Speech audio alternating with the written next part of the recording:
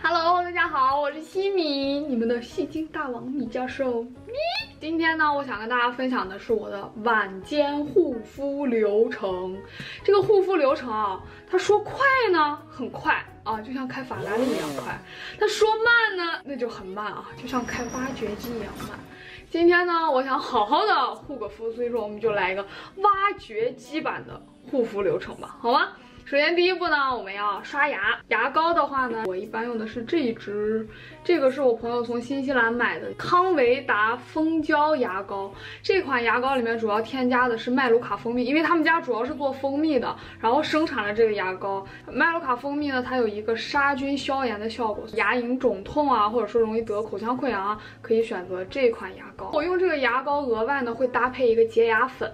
洁牙粉呢，就是这个澳洲的无花果洁牙粉，它打开以后是这样子的。这个详情页上面说是直接用湿的牙刷沾取刷牙就可以把牙刷的很干净，但是呢，我觉得它清洁能力不是那么的好，所以说我会先挤上牙膏，然后再沾取这个牙粉来刷牙。挤上牙膏，膏体是这个颜色，看到吗？有点发黄。再用这个牙膏这样。沾取一点这个牙粉，这样开始刷牙。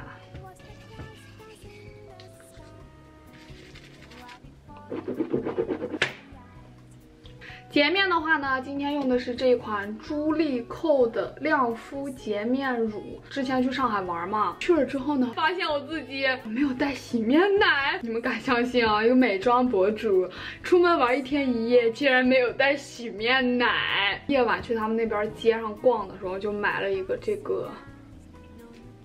这个洁面乳的质地是这种比较稀的乳液，然后洗脸。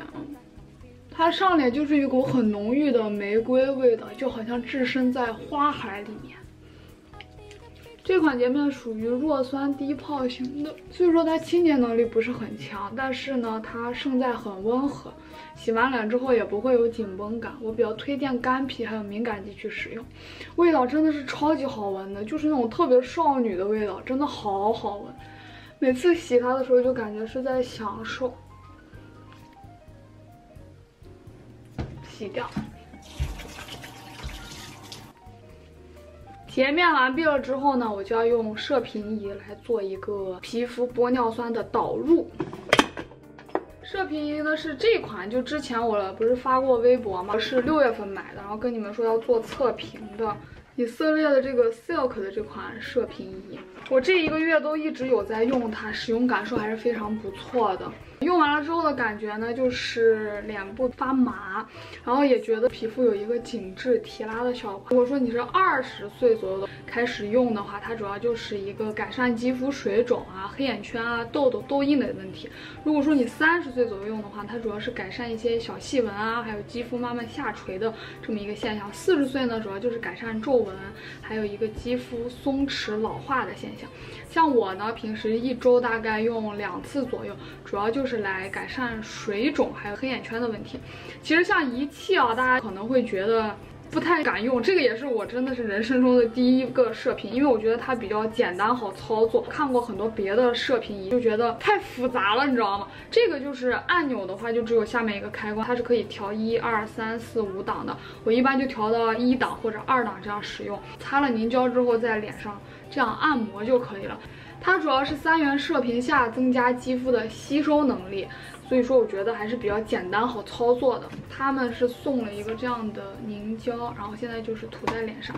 我先涂一半的脸用，因为另一半我怕凝胶涂上去会很快的干掉。我一般会挤很多凝胶，涂厚一点，然后按一下这个，按到这样就是二档，看到没？你不动的时候它是没有任何反应，只有你一动的时候它才会有那个射频进去。它就这样。我用它的话是比较简易的，就这样子往上推、往上提拉就可以了。差不多等这个凝胶吸收掉了之后就结束就 OK 了。这边好了以后呢，开始涂另外一边脸，稍微厚一点这个凝胶尽量，它可以增加肌肤的一个吸收力。用完这个之后再用后续的护肤品会更容易吸收一点。射频仪使用完了之后呢，脸就会有一种酥酥麻麻的感觉，摸上去也非常的滑。因为之前有很多妹子叫我测评一下这个射频仪嘛，我用这个射频仪大概是一个月的时间呢，我会觉得我自己皮肤状态好很多。经常起床以后，比如说肌肤暗沉的现象嘛，没有。总体来说的话，使用感受还是不错的。他送的这种盒子也很适合我们出门的时候携带啊什么，我觉得挺方便的。它使用起来方法也特别的简单，所以说我觉得性价比还算蛮高的吧。我现在用完射频了之后，就开始进行后续的护肤。后续呢，我们就要上水儿了。水儿的话呢，还是我经常跟大家说的这款净肤时光的柔肤精华水儿，用这个化妆棉擦在脸上。其实我建议大家啊，护肤的时候啊，一定要用化妆棉来上化妆水，这样的话呢，其实会比较好吸收，而且会比较卫生。嗯，味道真的太好闻了。水上好了之后，我们就要用一款精华。精华的话，之前我不是买了那个 Olay 的淡斑，它还不是叫淡斑，它是祛斑。它不是送了三个小样吗？就这种小样，它叫亮洁吸颜祛斑精华液。虽然说我真的觉得这个祛斑。这个名词很浮夸，哪里能祛斑呀？但是我还是要坚持，从今天开始给自己立这个 flag，啊从今天开始每天都要用这个，看看它到底有没有效果。因为一定要连续使用这个东西，不能断。我有时候晚上懒得很，就不会像今天这样挖掘机式的护肤。所以说呢，从今天这支视频的此时此刻开始的之后，每一天我都要这样认认真真的护肤。然后就先用他送的这个小样吧，正装我拆都没拆，先用完再拆正装。它挤出来是这种乳黄色质地的，很水，味道好难闻啊！这个精华液涂在脸上再吸收一下，你们肯定觉得我不需要用这种美白的东西，对吧？呸！但是我脸上真的有斑，而且我经常对着电脑，有辐射，脸上。就是这个位置啊，这个位置啊，斑点还是很多的。按摩到它吸收为止。然后这个精华涂完了之后，我一般会来涂眼部产品。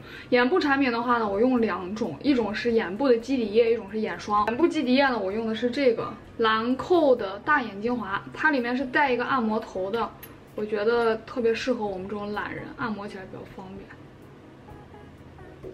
然后就是这样子，在眼睛上这样打圈按摩，你直接用那个按摩棒是按摩不知道完全吸收的，然后再用手来按摩一下。按摩好了之后呢，就用眼霜。眼霜的话，我用的是这个雅诗兰黛小棕瓶，我觉得这个质地我特别的喜欢。特别好，之前我也有用那个科颜氏的牛油果嘛，但是我觉得那一款的话太粘稠了，你知道吗？就是特别不好吸收。但是它作为一个普通的保湿眼霜来说还是不错的，娃一点。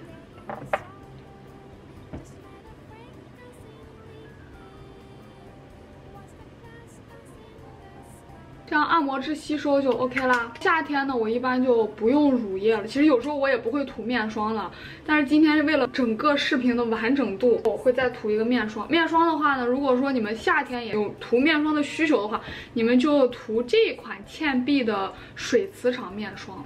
它质地是这样果冻状的，所以说它非常的轻薄，好吸收。夏天呢也不会担心涂在脸上会有黏腻的感觉，完全没有。这样涂在脸上，我其实觉得夏天的话，油皮就没必要涂面霜了。这款面霜挺适合冬天油皮来涂的。冬天干皮的话，可以选择他们家另外一款黄色的黄油面霜，都是很好的。倩碧他们家面霜，我是真的挚爱了。然后这样呢，就护肤完成啦。这就是我的一个晚间护肤的流程。挖掘机版的，呃，下次有机会的话，给大家录一个法拉利版的吧。法拉利版的话，可能一分钟就结束了，洗个脸，喷个喷雾，上床睡觉。这是法拉利版，法拉利开得快，它是有原因的。我们护肤也得快。挖掘机版的呢，就是得慢一点，慢慢来，才会有精致的小脸蛋儿，对不对？但是感觉这个法拉利跟挖掘机比喻好像又不是很恰当。好吧，那就这样吧。也没啥好说的，希望大家能在我这个晚间护肤流程里面呢，看到你们想看到的东西吧，应该这样说。好了，下一次再见啦，See you。